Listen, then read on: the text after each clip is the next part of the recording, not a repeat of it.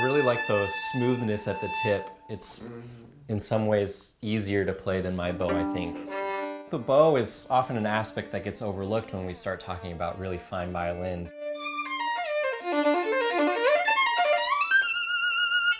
It's really the other half of the instrument. So the average weight is 60 grams. Mm-hmm. I can give you a selection. This is a range from 2,000 to $20,000. Okay. The prices are on uh, the frog end and, and the weights on the tip end. I mean, it's so even.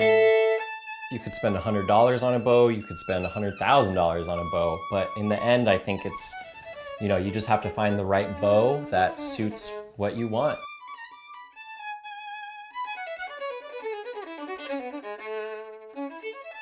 Port Townsend became the capital of bow making um, of the Western Hemisphere, like Paris is the, the capital, uh, primarily because of two people moving here, and that would be Charles Espey and Paul Siefried.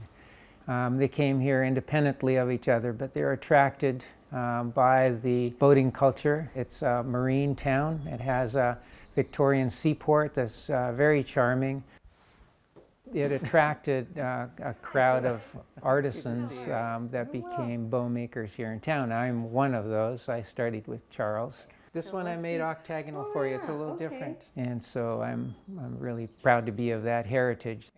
My name is Ole Kanestrom, and uh, I'm a contemporary bow maker, trained in the French method of making bows. When I make a bow, there's a collaboration that happens with the player and myself. They want a certain sound, they want a certain playability, certain balance, feel, weight. I have to find the piece of wood that has that ring that'll bring out the qualities in the instrument that they want.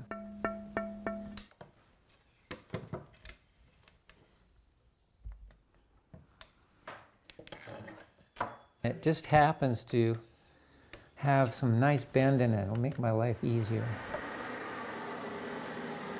Do they want it bright? Do they want it to be soft and mellow? Do they want a, a richness of tone, uh, more intensity?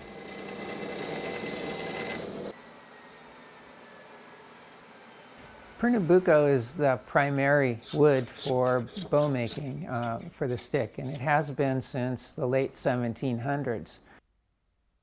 It has all the qualities. It's the strength, the resilience, the, it's like spring steel. It uh, sings, it does everything. It's the magic music wood.